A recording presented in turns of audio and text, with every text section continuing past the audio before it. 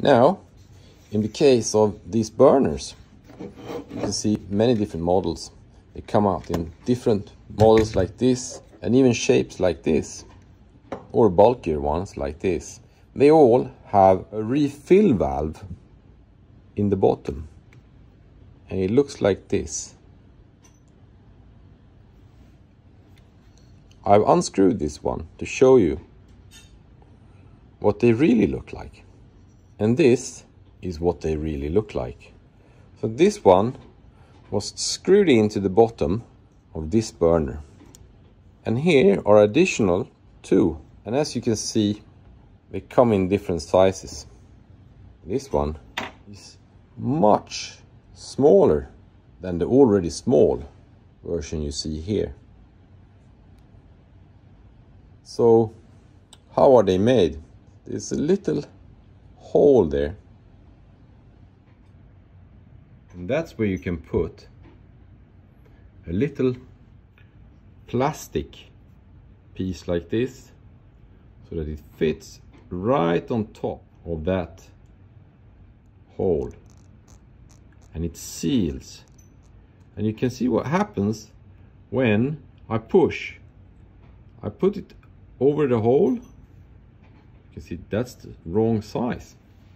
So when you buy refillable gas you get the nozzles like this. They come in different sizes of the holes. And now I have three different sizes here. This one may fit and it does. You can see how it seals around the nozzle down there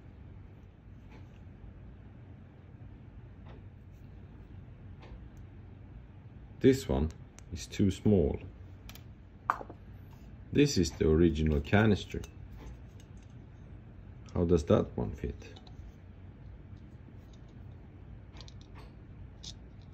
Well, it seems to be a relatively decent fit just from the refill canister.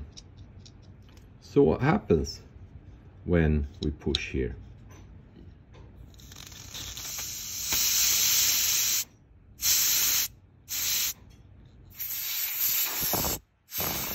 The gas is coming out right there in that little hole. So we're talking about this hole. Now for this one, the medium-sized one, it must be located internally. Yes, in this case, the gas is coming out right there on the top. And this is the smallest one. Also for this one, the gas is coming out from the top so there's a few different constructions in these ones, but they all serve the same purpose. They function as a one-way valve for you so that you can refill liquid butane gas into your torch. The way to do it is torch. It's running out of gas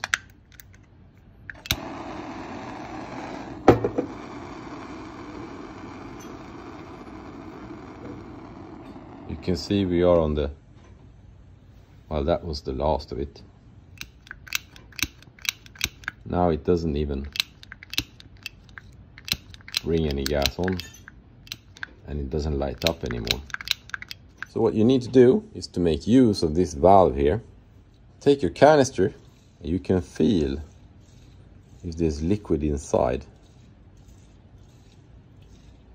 You can also hear it then you turn your torch upside down, like this, and you put your canister tubing right in to the valve so that it fits over that little brass tubing there that sticks out.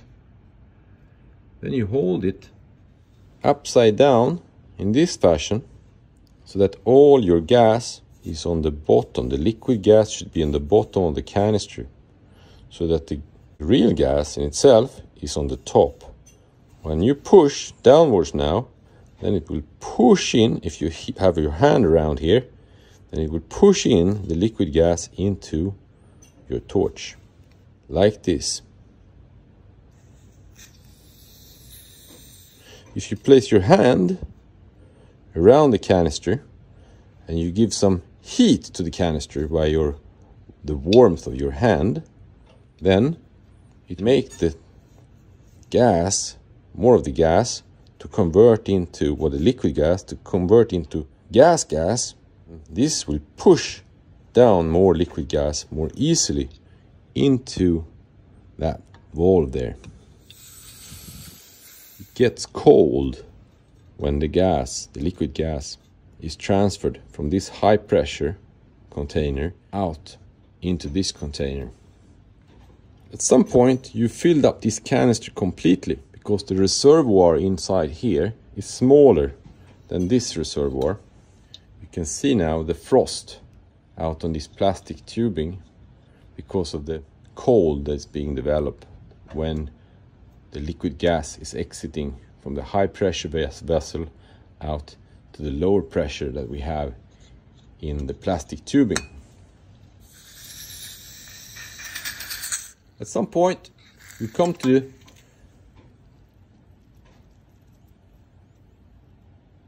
situation where you filled up your canister completely. And there you see, now the gas, I can't fill more liquid gas, liquid butane into this canister. So all that's happening here is that it sips out like this and now it's evaporating as we speak because the container is full. This torch has now been completely refilled and can be used again. We can open the torch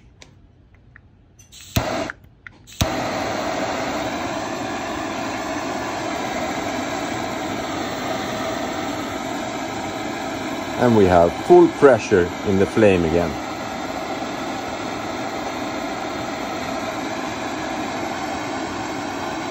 Well, thanks for watching guys.